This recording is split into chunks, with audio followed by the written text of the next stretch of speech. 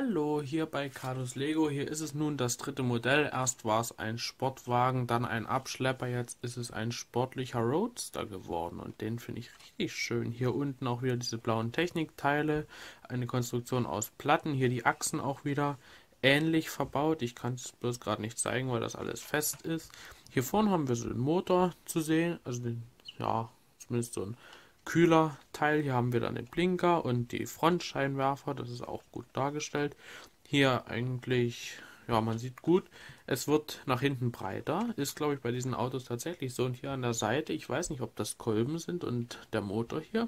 Ob der Motor dort ist. Ich kenne mich mit Roadstern tatsächlich nicht aus. Und ja, wir haben hier auf jeden Fall ein Lenkrad, was man diesmal nicht verstellen kann. Aber wir haben hier schön rot die Einrichtung, also zumindest den Boden. Und hier auch schön Sit Zweisitzer, sieht zumindest so aus, zweigeteilt. Deswegen ist es auch ein Roadster. Wenn mich nicht alles täuscht, ist ein Roadster einfach ein Cabrio für zwei. So, dann haben wir hier eine Scheibe verbaut, die anderen diesmal nicht.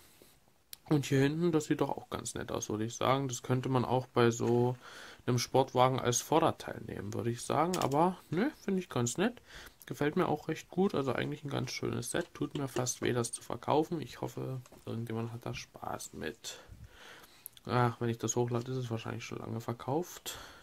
Deswegen ist das auch auf keinen Fall ein Werbevideo. Und auch ganz nett hier mit diesen Abstandshaltern, dass die hier verbaut wurden, weil es hier hinten halt breiter ist als hier. Hier sind nämlich solche ähm, Teile mit Loch, hier diese Techniksteine, damit das alles klappt. Und diese Teile hier sind eigentlich bloß draufgesetzt. Das sieht man jetzt hier, wenn man das abmacht. Zeige ich das mal.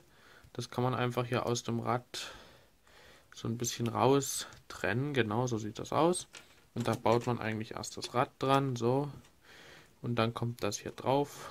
Funktioniert, glaube ich, bei echten Radkappen ähnlich. Jetzt habe ich es ein bisschen festgemacht, deswegen rollt er nicht. Ich, also zumindest nicht so gut. Ich habe das bei dem Abschlepper gar nicht gezeigt. Der rollt auf jeden Fall auch ganz schön.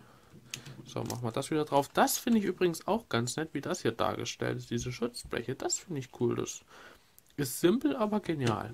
So, viel mehr fällt mir dazu eigentlich gar nicht ein, abgesehen davon, dass es ein Rechtssitzer ist. Rollt eigentlich ganz schön, also auf dem Tisch zumindest. Hier drüben haben wir dann die übrigen Teile. Da sind größtenteils die ganzen Scheiben und die Anleitung schauen wir uns natürlich auch wieder an. Hier sieht so sieht es aus. Auch wenig überraschend, hier fängt man an, man baut asymmetrisch, also erstmal hier drüben, das ist ungewöhnlich bei Lego. Hier sieht man dann, wie die blauen Technikteile dazukommen. Ähm, ja, sehr schön. Jetzt schmeiße ich hier mit der Anleitung schon die Teile vom Tisch. Genau, hier sieht man halt nach und nach, wie dieses Ding zusammengebaut wird. Hier nimmt es dann langsam Gestalt an. Hier diese Seitenpaneele kann ich noch mal kurz zeigen. Hier, was man hier sieht.